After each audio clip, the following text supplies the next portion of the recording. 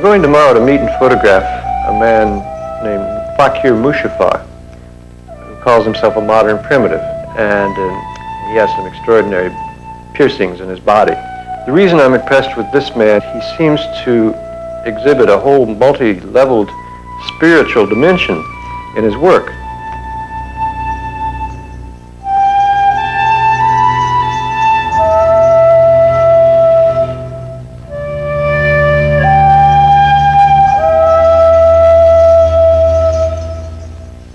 Well, I originally came from South Dakota, and um, in South Dakota, I actually grew up on a um, Indian reservation.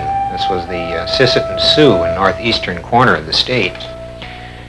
Trouble with growing up on an Indian reservation area is the fact that the people who lived there uh, around me were very prejudiced against Indians. You know, they hated Indians. Indians were like dogs. Uh, have nothing to do with them.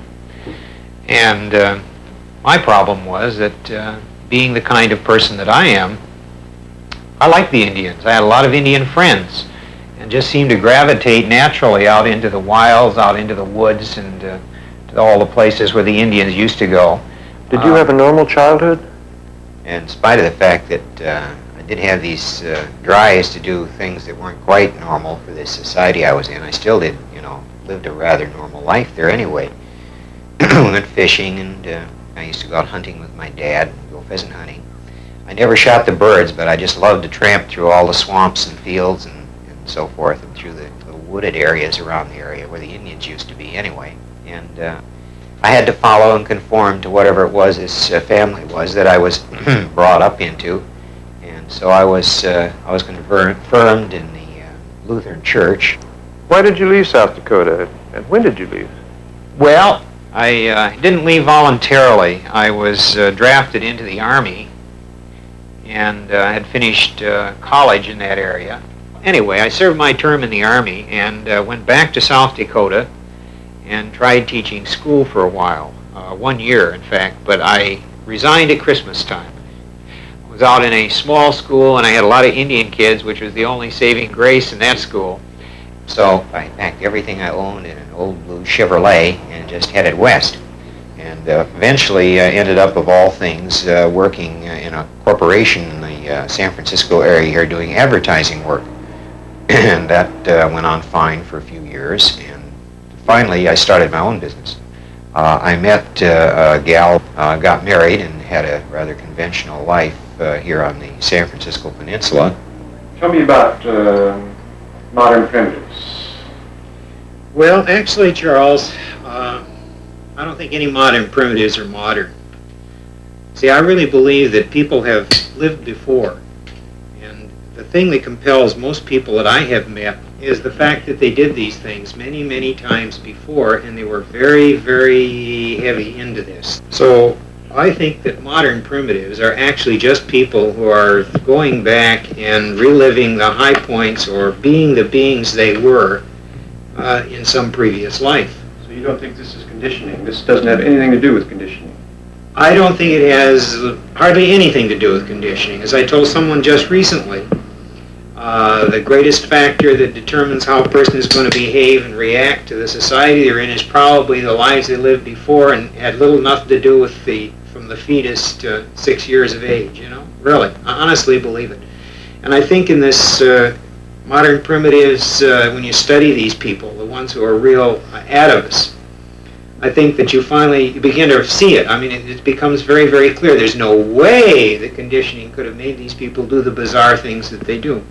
Like, uh, you know, uh, I had a compulsion to do this when I was like only about uh, 10 or 12 years old. And I just was obsessed. I uh, wanted to have holes and I wanted to pull on them. I wanted to do sun dance like the Indians did. I had done it as an Indian apparently. And uh, I don't know of anything in my background that could account for that. It's just absolutely impossible that it could have happened uh, from conditioning. I don't see where it could have come from. And the more modern primitives I know, the more this seems to be the case to me.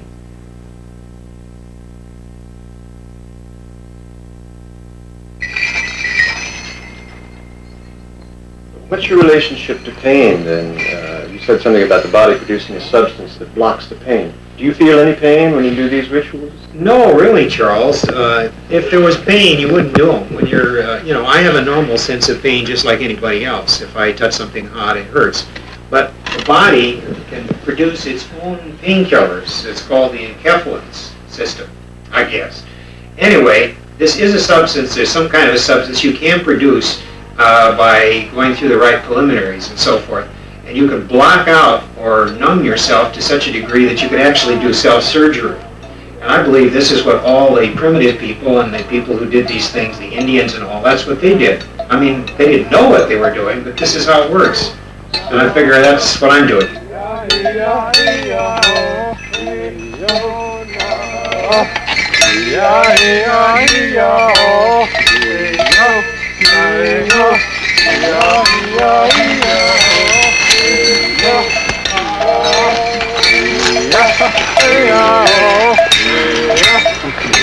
Yeah.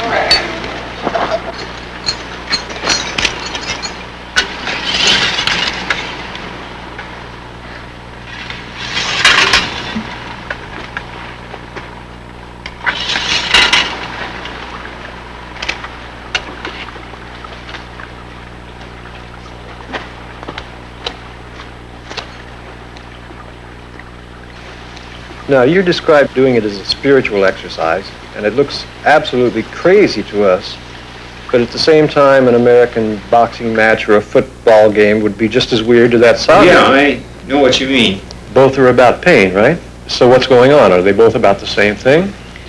Uh, except that all other parts of the world, like in India, where they have rites that involve pain, uh, the people participate. There's a great difference between this culture and those cultures in those cultures, all the rites and all these things, uh, people get involved in themselves. in our culture, it's all secondhand. It's all spectator sports. You know, there are only a handful of people and 80,000 people in the Silver Dome watching the football players smash into each other and get hurt. Uh, they're trying to have a physical life vicariously through the football players. And I, from another culture's viewpoint and from my background, think that this uh, is a very strange way to behave. Uh, it doesn't seem like it would be very satisfying. When do you get enough? So I suppose the way it comes out is in rather negative social behavior. After the game in Oakland and San Francisco, they had riots. There was looting. There were people being injured and shot, all as a matter of hysteria from the football game. Well, I like primitive cultures. There people go out, they go through these physical things, they feel the physical pain, the physical experiences themselves, personally, intimately. And then it takes all hostility out of their system. It gets rid of something. Something inside needs to be done with you, you know, and it comes out. All right, Charles, now we're all set for the big experiment. I want you to get right up here and kneel in front of the bed of nails. Just kneel right down here. Right. Now just feel these little buggers here. Move your hands around. They're not terribly sharp. They're not going to hurt you at all. Mm-hmm. No, It'll be a little discomfort, but it's not going to hurt you a whole lot. Okay? All right, Charles, we'll do this very slowly now. I want you to just get over here with your hand on each side of the nails here, like a. Get your uh, get your knees up a little bit closer here to the end. There you go. Mm-hmm. Okay, up on your toes now.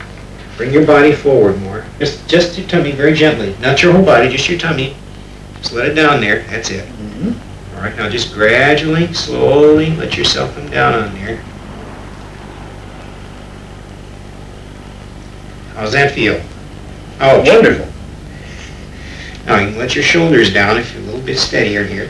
All right. That's the idea. How's your head there? I'm on. Yeah. It hurts all over.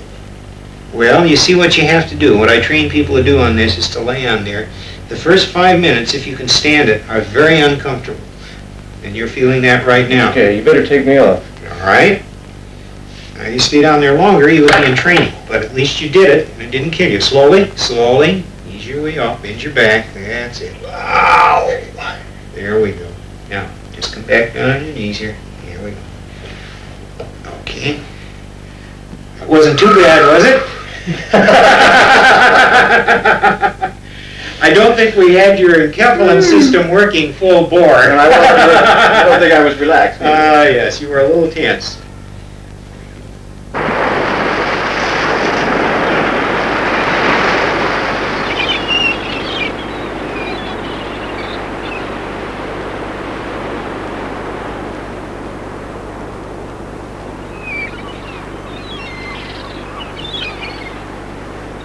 What do I think of Fakir? I think Fakir is a pioneer. I think Fakir is an astronaut of inner spaces. He seems to be serious, and he seems to believe in magic and ritual, and um, he certainly has a mind and an energy uh, behind his work that I find uh, uh, phenomenal. It would be so easy to dismiss him as a California eccentric with a three-pound lead ball swinging from his cock in a special chair that he made, and forget that the essence of his work um, probably is more spiritual than the average American has ever even dreamed about.